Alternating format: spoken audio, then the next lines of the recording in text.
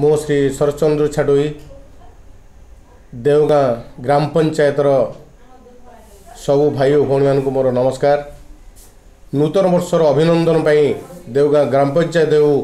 Banapur block ଏବଂ ଚିଲିକା ନିର୍ବାଚନ ମଣ୍ଡଳୀର ସର୍ବସାଧାରଣଙ୍କୁ ମୋର ନମସ୍କାର ଏବଂ ତତ୍ସଙ୍ଗେ ସଙ୍ଗେ ଜଗନ୍ନାଥଙ୍କ ପାଖରେ ପ୍ରାର୍ଥନା କରୁଛି ନୂତନ ବର୍ଷର ଯେଉଁ ଦୁଇ ହଜାର ଏକୋଇଶ ସମସ୍ତଙ୍କ ପାଇଁ ସୁଖମୟ ହେଉ ସମସ୍ତଙ୍କ ଜୀବନରେ ସୁଖ ଶାନ୍ତି ଆଣିଦେଉ ଶ୍ରୀ ଜଗନ୍ନାଥଙ୍କ ପାଖରେ ଏହି ମୋର ଏକାନ୍ତ ନିବେଦନ